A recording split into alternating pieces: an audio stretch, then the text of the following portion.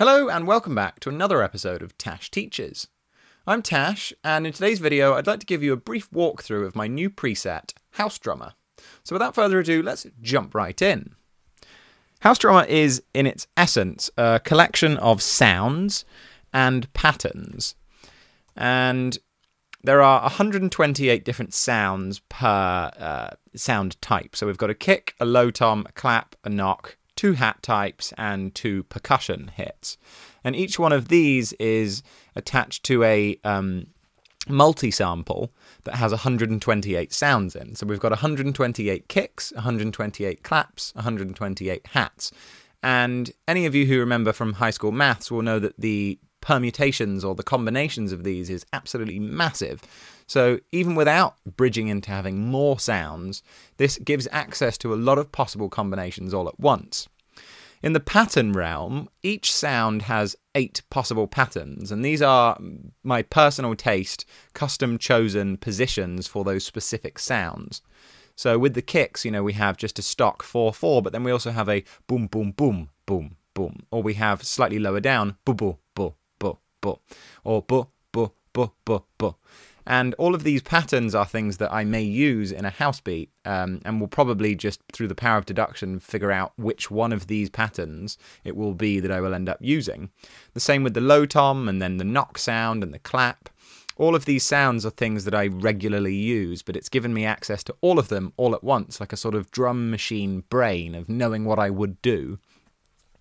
So, on top of having access to 128 sounds for each sound and having eight patterns for each pattern, you can then randomly step through various aspects of this machine.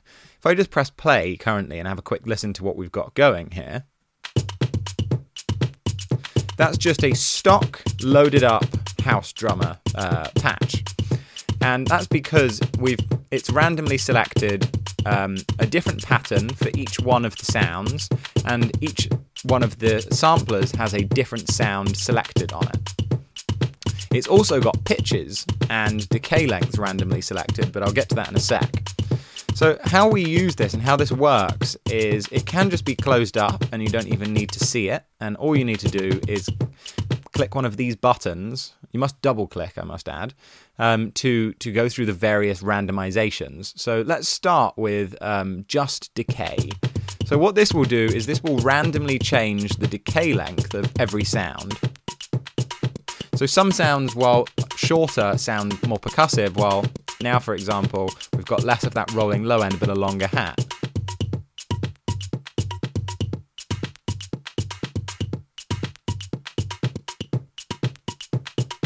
You can also then randomly change the pattern of everything. So let's change the pattern on every one of the sounds.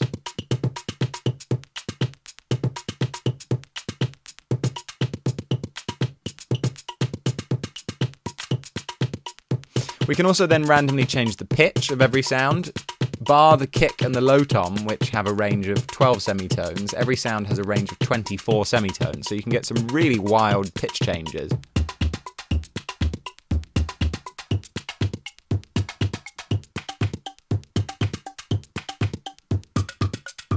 And finally, we have access to the sound randomization, which will pick a different one of each 128 groups for a same pattern, same decay length, same pitching, but different sounds.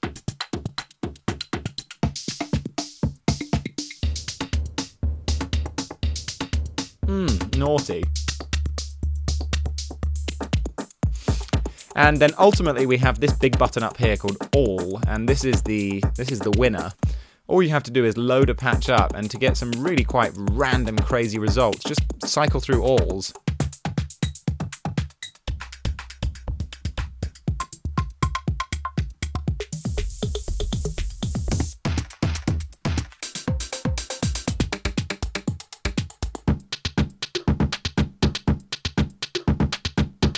I mean, that's just fantastic. So how is this uh, how is this working exactly? If we open it up again and have a look here, you'll see that each one of these eight patterns is being fed into a merge module, and each one of these patterns is then being sent wirelessly in a similar fashion to how I did with the external VSTs to a value knob that is then triggering the individual sounds. If we go back here, you can see that we've got these groups. So if we're listening through to the sound again, and I want to change just the pattern of the kick, I can go to just the pattern section here, or just the sound, just the length, and just the pitch, and I can just randomize just the kick. And that's changing the pattern of the kick. If I want to change just the sound of the kick, I'll go down to the sound. That's quite cool. Now just maybe the pitch. Uh, let's change the pitch of everything. So each one of these corresponds to the individual sound. So if you want to change the pitch of the kick, you click there. But if you want to change all of them at once, you can click this trigger. And that would change the pitch of everything. And then you could change the length of everything. Then this button here is mapped to what's doing this. So when you click decay, that will change the length. And that button will randomize everything until you turn it off. And ultimately, all of these groups then fed back into the master trigger here, that when clicking that, that's the equivalent of pressing this twice.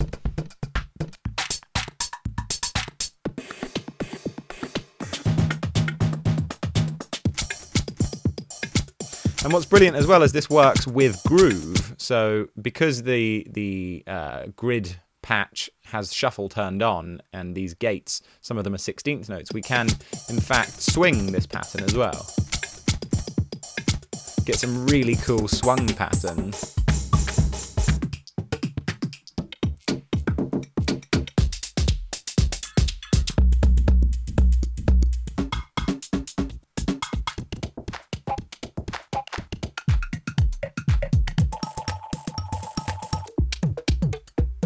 And if you just keep cycling through, you'll find some really great drum patterns.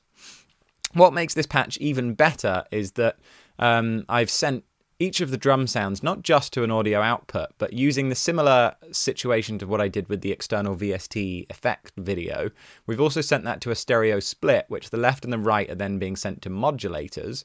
And in the note effects channel, I've got an instrument layer here with one sound per, per channel.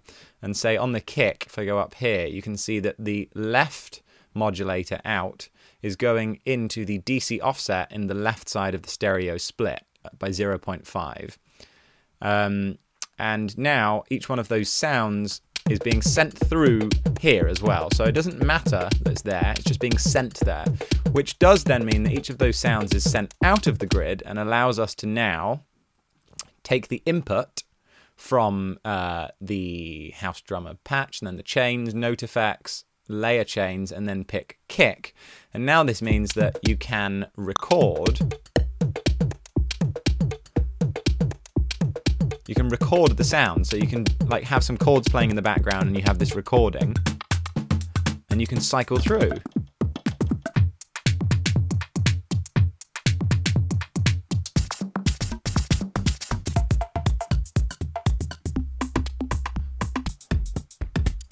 Absolutely fantastic. And also, if you take the, the kick and the low tom out, you can just randomly create top loop.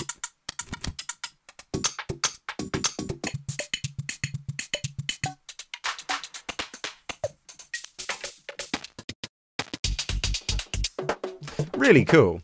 Anyways, I hope you've enjoyed this little video, and I'm going to be uploading this preset for free without the sounds in and with the sounds in uh, onto my Patreon page, uh, which all patrons will have access to. And if uh, if you don't fancy becoming a patron, then by all means create one of these yourselves and let me know how uh, how it goes.